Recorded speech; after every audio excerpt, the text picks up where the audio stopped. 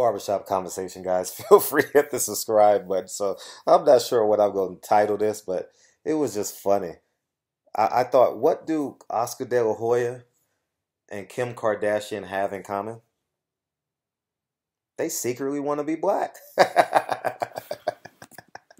Man, you guys know the Kim Kardashian story, but we all know, and I'm not speaking uh, subjectively. I'm just going to state facts.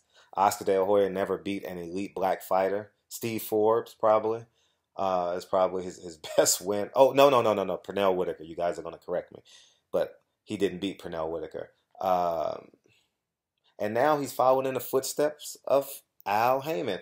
His two greatest accomplishments in the past 365 days is pattern Canelo Alvarez's career after Floyd Mayweather and two, signing a free TV deal with ESPN. Round of applause. Round of applause. He's suing Al Haymon for the same thing that Al Haymon did with Floyd Mayweather. Signed a free TV deal, right? Parlay Floyd Mayweather into a free TV deal and create a brand. Floyd Mayweather is the biggest, is the, is the biggest ship sailing. Floyd Mayweather is the biggest plane flying. Flying. Floyd Mayweather is the fastest car driving. Uh, let's just be plain and simple and clear. He is the he is a rock star. He is coming to be an icon. I'm not talking about how you feel about him on social issues. I'm talking about who he is currently today. And guess who? Then guess what Oscar De La Hoya wants for Canelo? Right?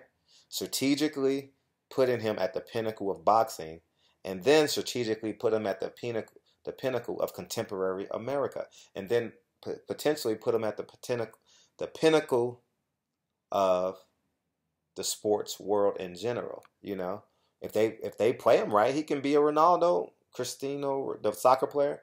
You know, he could be a Messi because he's he's Latin, right? He speaks Spanish. He can go over there and to other countries and you know make appearances at soccer matches and you know, drop the first ball. I don't know if they do that, but you know, little things like that. He can do that thing. So, anyways, it was just funny. I was just, you know, I'm sitting there to myself, and I'm actually writing an article right now on Golden Boy that I'm about to turn in, and I says, ding ding ding, it's just hit me right now. So, uh, Kim Kardashian, you've made an exorbitant amount amount of money by portraying the black, portraying and betraying the black culture, and Oscar De La Hoya you could potentially make millions and millions of dollars following in a black man footsteps by the man of Alan Haymon. So, uh, congratulations.